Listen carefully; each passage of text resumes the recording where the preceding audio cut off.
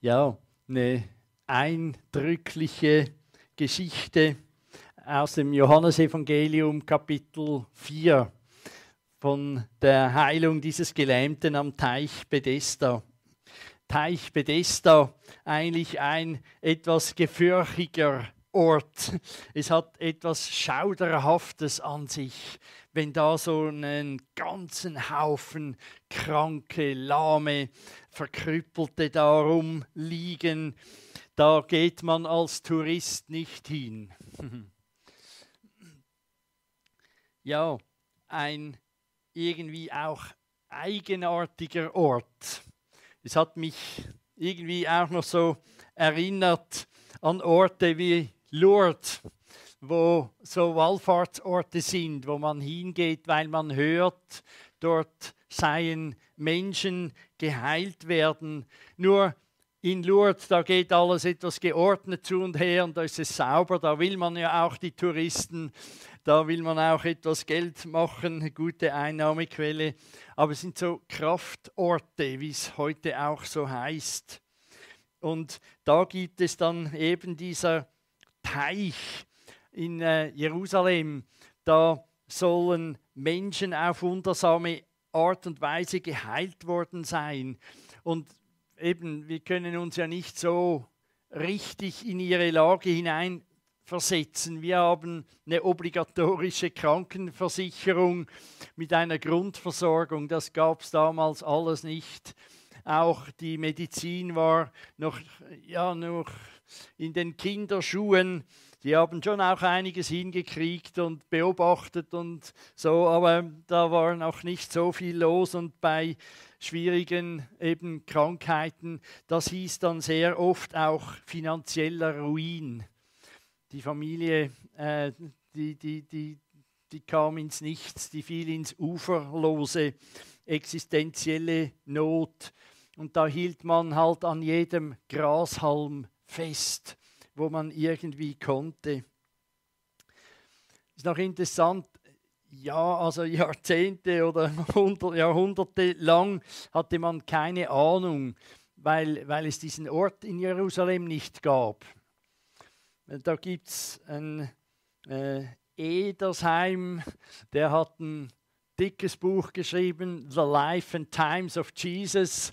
Äh, kennen wahrscheinlich die einen noch 1883. Das war dort schon so fast wie eine Art ein Bibelwissenschaftler, der da Fakten zusammentrug, um die, die Zeiten besser zu verstehen. Und er schreibt dort, jeder Versuch, den Ort zu identifizieren, ist fehlgeschlagen. Hm. Aber Ausgrabungen stießen 1956 tatsächlich auf diese Anlage mit solchen Wasserbecken und wo man auch sah, da muss, müssen auch Säulenhallen tatsächlich gestanden haben. Ist doch interessant, dass man da, äh, man hatte lange auch an, an der Historizität vom Johannes Evangelium gezweifelt und das sind dann einfach Legenden oder Mythen oder er hat Dinge erfunden. Plötzlich merkt man, nein, der hat das nicht erfunden, das gab es tatsächlich. Es war in der Nähe des Tempels äh, man, ja, man liest von Dimensionen von einem dieser Becken 120 Meter lang und 60 Meter breit. Also es war nicht ein kleiner Tümpel, sondern das war eine größere Geschichte. Und weil dann eben immer mehr Menschen sich dort ansammelten, weil da irgendwie so ein Ruf von dort ausging, ähm, da war man noch etwas sozial. Da hat man dann eben die Hallen gebaut und dann noch eine Halle dazu. Das muss also ja doch recht viele Leute angezogen haben. Und etwa 200 vor Christus muss das in den Fels gehauen worden sein. Der Herodes der Große hatte dann äh, einige Jahrzehnte vor Jesu Geburt dann das Ganze prunkvoll ausbauen lassen. Ja, und dann im dritten, vierten Jahrhundert später hatte man dann diese Städte äh, in ein Heiligtum für den griechischen Gott der Heilkunst Asklepios, äh, quasi das ihm geweiht und dort so eine Stelle gemacht. Also das blieb immer über lange Jahrhunderte so quasi wie ein, ein, ein, ein Kraftort, wie man dort so sagte. Um 500 nach Christus wurde eine Kirche über dieser Stätte gebaut und 614 wieder weg, also wieder ausradiert, da ging hin und her. Ja, das nur kurz so. Ah, ich habe da noch ein Bild von dieser Stätte. Da unten sind die, äh, äh, eben die Ruinen, die man dann gefunden hat. Hinten wurde dann die St. Anna-Kapelle später gebaut, hat aber eigentlich nichts direkt mit dieser Stelle zu tun. Das kann man also heute besichtigen. Was suchte wohl Jesus dort? Wieso ging er dorthin? Ist irgendwie noch für mich wirkt es wie etwas eigenartig, weil er scheint dort eher unerkannt aufgetaucht zu sein. Vielleicht waren auch nicht viele Leute dort, die ihn schon getroffen hatten, weil, weil es halt eben viele waren, die einfach rumlagen, die konnten, waren nicht mobil. Und der Geheilte wusste ja dann, als er gefragt wurde, gar nicht, wer das gewesen sei, der ihn da geheilt hatte. Ist noch eigenartig. Und eben es heißt, dass Jesus danach gleich wieder verschwunden sei, quasi abgehauen. Habe ich drüber nachdenken müssen. Ja, irgendwie so in dieser Szenerie so was Kultisches irgendwie was Religiöses da mit dem Wasser, das sich da bewegt und der Erste, da, der da reinkommt, es hat ja noch im äh, Johannesevangelium, Vers 4, eine Erklärung, die findet diese Erklärung eben mit dem bewegten Wasser und wer zuerst reinkommt, das, äh, die findet man in den frühesten Manuskripten vom Johannesevangelium nicht. Man vermutet, dass das später dann äh, als Erklärung hinzugefügt worden war.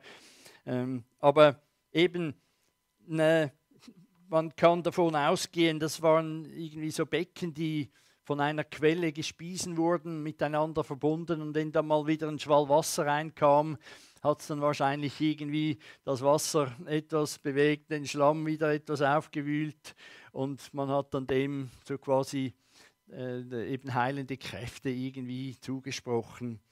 Äh, so könnte man sich das vorstellen. Es wird nicht weiter kommentiert. Es wird einfach so diese Szenerie beschrieben und Jesus scheint dort dann eben hingegangen zu sein, aber es ist irgendwie wie nicht ganz klar, äh, er passt nicht ganz in diese Szenerie.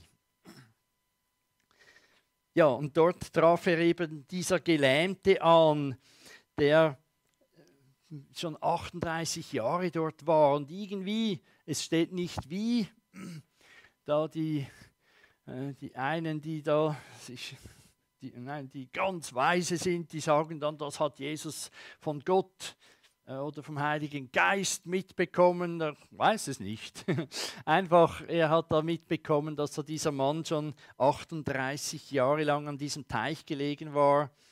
Ähm, also, es, äh, es heißt zwar nicht, dass er 38 Jahre am Teich lag ist noch ein kleines Detail, äh, sondern er war schon seit 38 Jahren krank. Wie lange er effektiv dort lag, aber wir können schon davon ausgehen, schon eine ganze Weile, aber es ist nicht jetzt unbedingt 38 Jahre an diesem Ort. Äh, das steht nicht zwingend so da. Ich habe noch äh, gestaunt, es gibt eine, eine Stelle im Alten Testament, wo 38 Jahre vorkommt.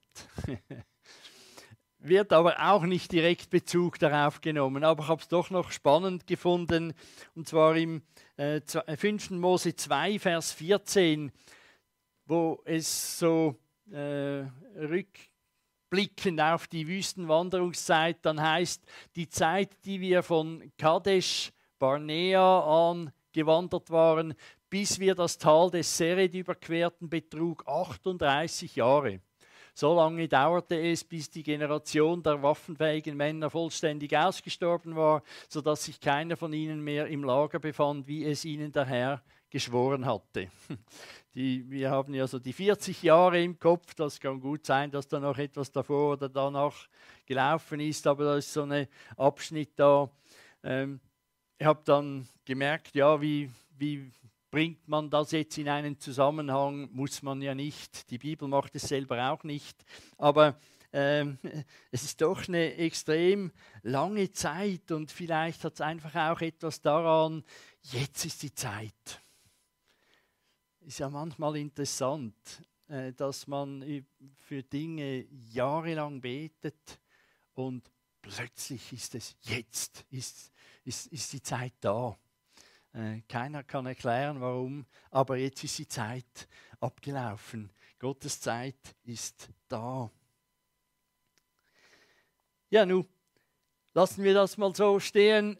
Jesus fragt dann diese komische Frage, willst du gesund werden. Und er hat, dieser äh, Gelähmte hat dann nicht gerade so reagiert wie in unserem Anspiel, ähm, äh, ist ja lustig, ähm, sondern er hat eigentlich indirekt geantwortet, indem er gesagt hatte, Herr, ich habe keinen Menschen, der mich, sobald das Wasser aufwallt, in den Teich trägt. Während ich mich hinschleppe, steigt schon ein anderer vor mir hinein. Willst du gesund werden? Ja, also das Ja kommt nicht, aber er, er sagt ganz klar, ich habe gar keine Chance.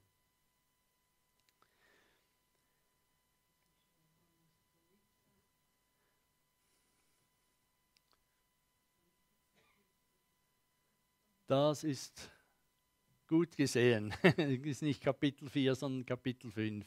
Äh, das ist falsch hier. Ähm, ja, auf jeden Fall, das tönt schon ziemlich resigniert, ziemlich frustriert, ziemlich hoffnungslos. Und dann im Vers 8 und 9, dann sagt Jesus zu ihm, steh auf, nimm deine Liege und geh.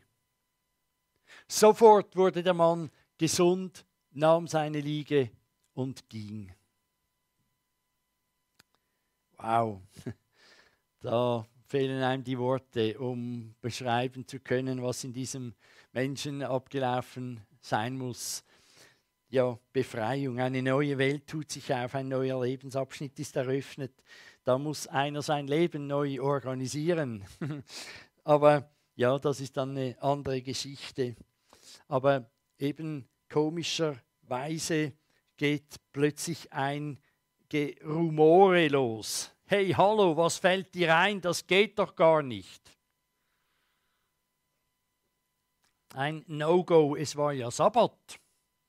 Und am Sabbat ist jegliche Arbeit zu vermeiden. Was fällt dem ein, seine Liegematte da rumzutragen? Das ist nicht erlaubt, das geziemt sich nicht.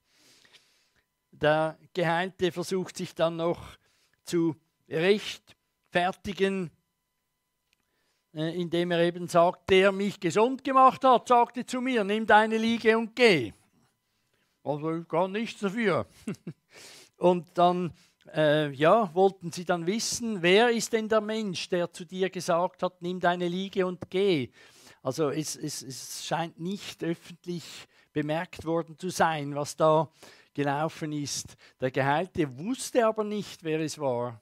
Jesus war nämlich weggegangen, abgehauen, weil dort eine große Menschenmenge zugegen war. Und eigentlich der Rest des ganzen Kapitels, und es ist noch ein längeres Kapitel, da wird debattiert, da wird diskutiert, da wird gestritten über den Sabbat und darf der das überhaupt und so weiter. Die frommen Polizisten sind sofort auf dem Plan. Äh, Walter Lüthi, ein, äh, äh, äh, Theologe, Pfarrer, äh, man hat viele Kommentare geschrieben. Er sagt es so, die Frommen, die dem lieben Gott vorschreiben, wann er einen Elenden retten darf und wann nicht, die den Engeln im Himmel befehlen, wann sie jubeln dürfen und wann sie schweigen sollen. die frommen Polizisten.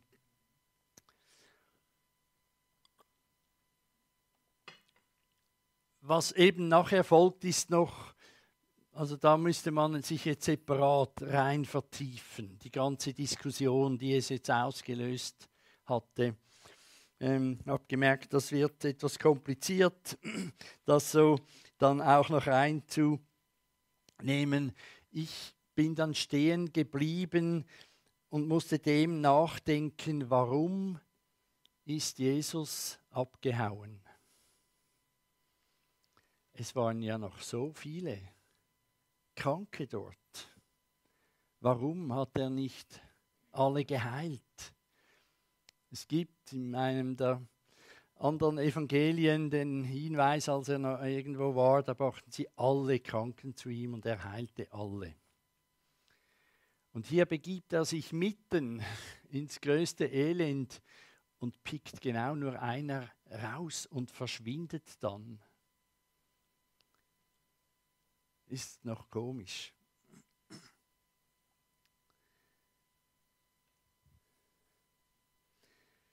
Und da ist mir wieder aufgegangen, wie, wie wir eine menschliche Sicht der Dinge immer wieder haben. Wir leiden unter Kurzsichtigkeit. Aber ich muss ehrlich sagen, das ist meine Interpretation.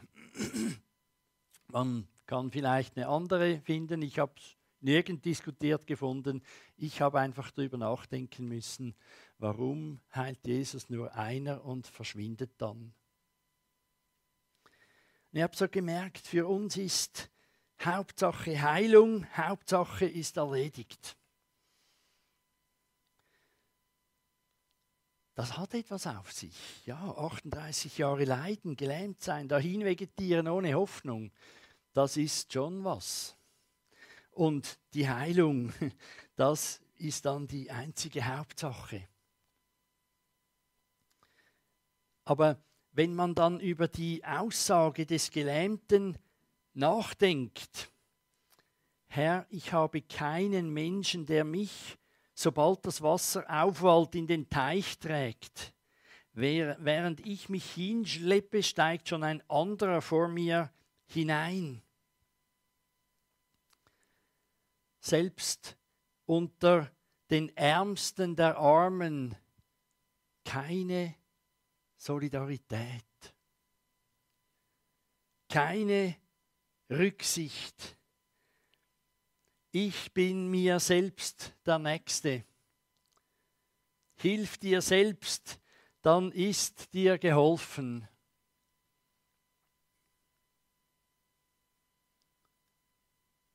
Ich ich finde das noch schwer zu fassen, auch eben wenn man, man denkt dann manchmal so Slum-Gebiete, all die Armen. Und wenn man dann hört, wie das Banden gibt, wie, wie sie, ähm, wenn man Bilder sieht von äh, Südamerika oder einfach von Drittweltländern, auch, auch in, äh, in Sri Lanka ist das so, immer die großen, schweren Tore. Also die müssen gute Türen haben.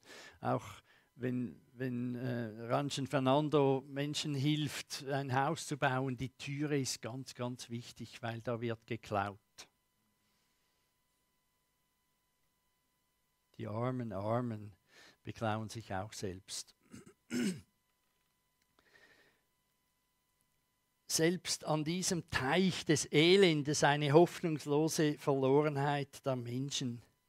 Und was nützt die Heilung? Was nützt, wenn alle geheilt werden? Dann laufen alles geheilte, gesunde, starke Egoisten auf dieser Welt herum. Natürlich haben sie es nicht mehr verdient oder weniger verdient, äh, krank zu sein, aber einfach nur geheilt, damit ist die Welt noch nicht in Ordnung. Es gibt viele Gesunde, die nehmen sich das Leben.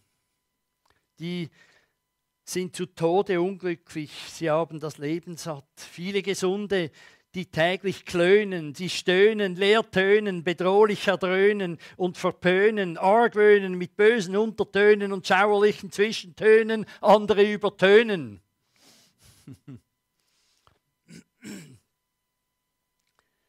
ja, Jesus will gesund machen und heilen. Aber Jesus hat eine viel größere Vision. Nicht die Vision von Geheilten, die nach einigen Wochen oder Monaten wieder traurig die Straßen lang gehen, weil man gewöhnt sich dann wieder ans Gesundsein. Dann kommt der graue Alltag auch. Er hat die Vision von einem ganzheitlichen Leben. Heil ist nicht, wenn jemand wieder gesund ist. Heil ist, wenn Gott in dieser Welt wieder die Erlaubnis bekommt, das Sagen zu haben. Ja, dann werden Kranke wieder gesund. Aber dann gibt es ein ganz anderes Gedränge an diesem Teich, weil jeder schaut, dass er zuerst der andere reinkommt. Da muss man sich absprechen, organisieren und dann vielleicht, ja, was haben wir für Kriterien? Ja, okay, 38 Jahre ist jemand schon länger, ja, und so weiter. Da wird, wird nicht einfach reingesprungen und geellbögelt.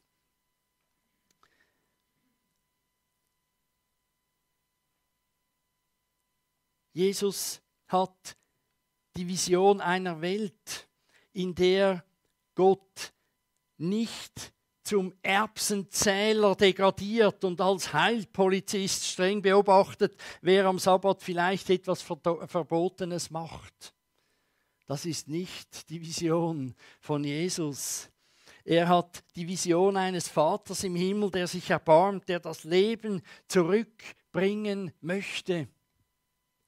Jesus hat es vorgelebt, wie es ausschaut, wenn das Leben wieder zum Blühen kommen sollte. Jetzt könnte man durchs ganze Johannesevangelium durchgehen.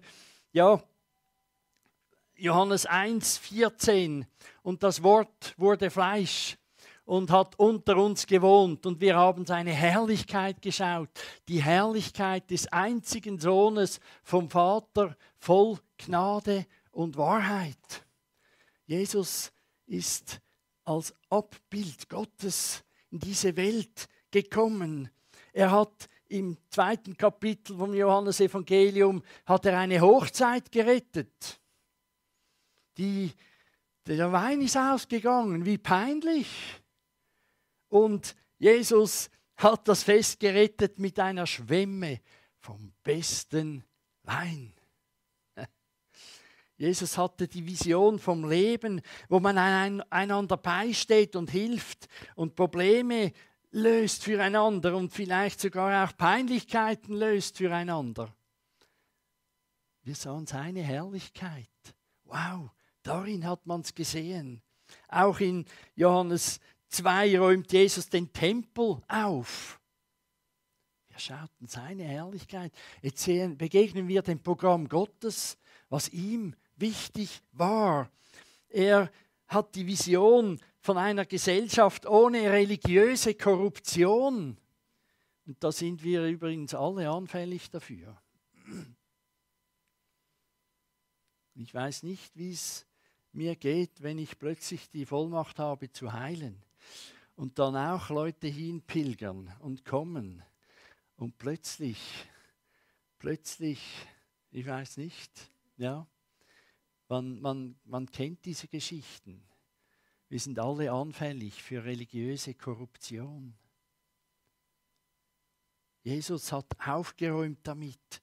Und nachher, nicht, es gibt eine Tempelreinigungsszene eben im Johannes 2, aber dort ist nicht erwähnt, aber in einem der anderen Evangelien, nachher heilte er Menschen im Tempel. Er bringt den Tempel wieder zu seiner Bestimmung zurück. Ein Tempel, ein Ort, wo man in der Nähe Gottes äh, sein darf und der sich um die Nöte der Menschen kümmert. Oder eben Johannes 4, da äh, spricht Jesus mit einer Samaritanerin. Mit denen wollten die Juden nichts zu tun haben und erst recht redet ein anständiger Jude, wie Jesus es sein sollte, nicht mit einer Frau. Die Vision von Jesus ist eine Welt ohne Gender-Wahnsinn, weil Männer Frauen ehren und achten und weil Frauen Männer ehren und achten. Und dann wäre das Thema eigentlich erledigt. Wir sahen seine Herrlichkeit. Schau sein Leben an, dann siehst du, was ihm wichtig ist.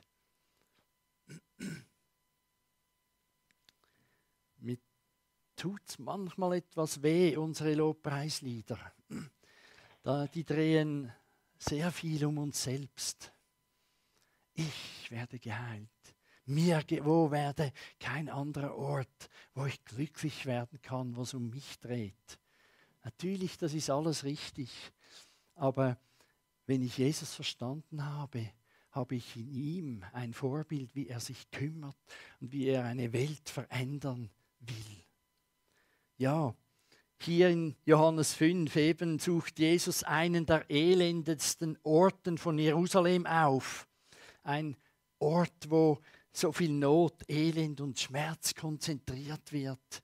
Und er hat die Macht, auch die zu heilen, die möglicherweise so äh, würde man den natürlichen Schluss ziehen, eben schon am längsten die Hoffnung aufgegeben haben.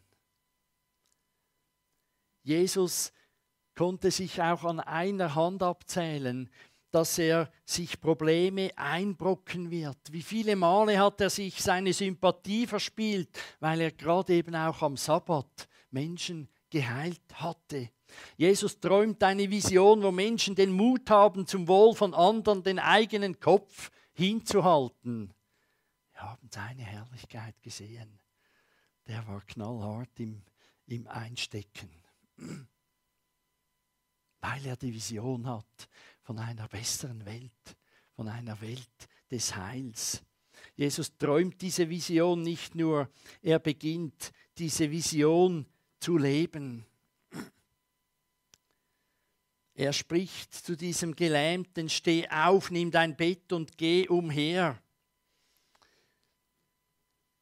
Da war irgendwer, der hat dem Gelähmten diese Strohmatte, was es wahrscheinlich war, hingetragen. Jetzt ist er gesund. Jetzt muss er die Matte nicht mehr tragen lassen. Er kann sie jetzt selber nach Hause tragen. Du bist befreit, um wieder Verantwortung zu übernehmen. Und nicht einfach, dass dir wieder gut geht, sondern dass du Teil wirst an Gottes Projekt, eine Welt zu bauen, in der es besser wird. Das Leben hat wieder begonnen. Du bist jetzt selbst gefragt. Es heißt im Vers 14, auch Johannes 5 im gleichen Zusammenhang, dass Jesus den Gelähmten im Tempel wieder angetroffen hatte. Und er sagt zu ihm, sündige nicht mehr. Das Sündige nicht mehr können wir jetzt mit, ich weiß gar nicht, wie ich dem sagen soll, in einer religiösen Weise hören, dann denken wir, oh, wir dürfen nicht sündigen. Das frommes Gerede, frommer Schrott. Es geht doch darum, nicht mehr sündigen heißt, sei dir nicht mehr selbst der Nächste. Sei nicht mehr rücksichtslos, weil du machst den Anfang, dass es kehrt.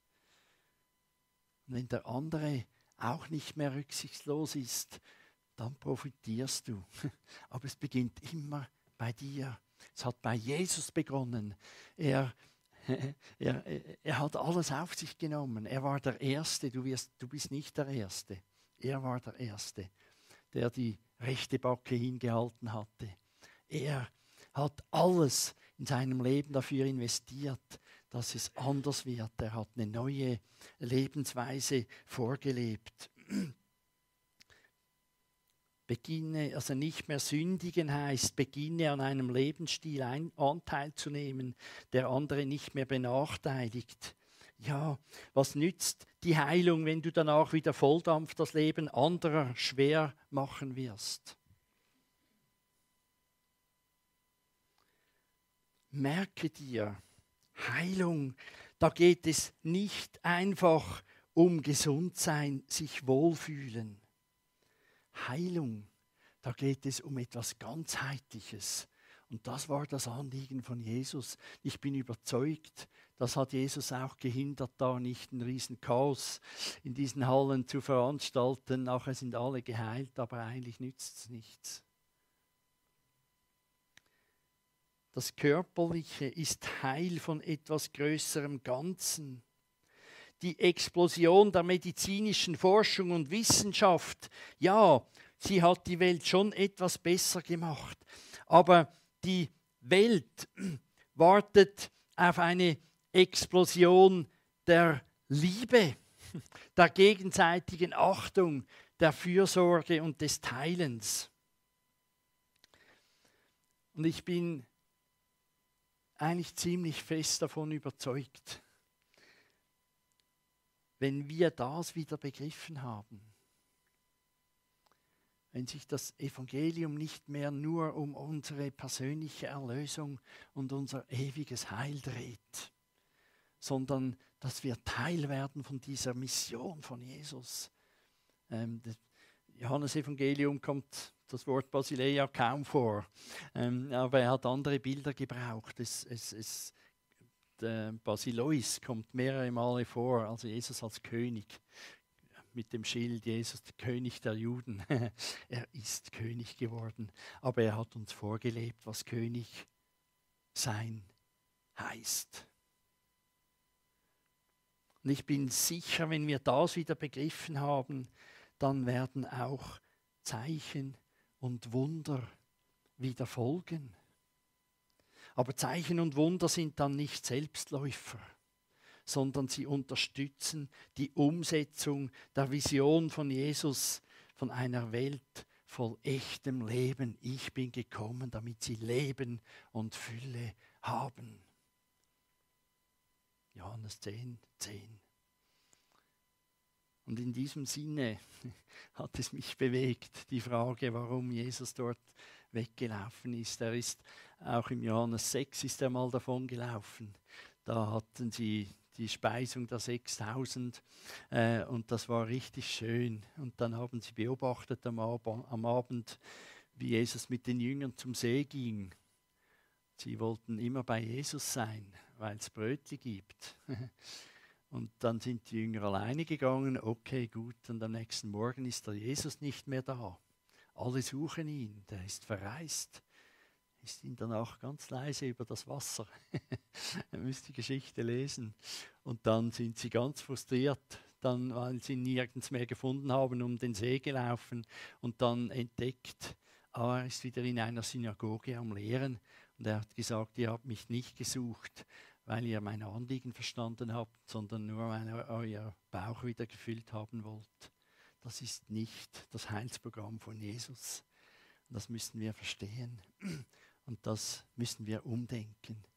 Und eben wie gesagt, dann bin ich sicher, dass Zeichen und Wunder wieder anfangen werden, aber eben nicht als Selbstläufer, sondern sie werden eine Unterstützung für das Umsetzen von Gottes Heil, Heilsprogramm dort, wo wir leben, wo wir wirken. Amen.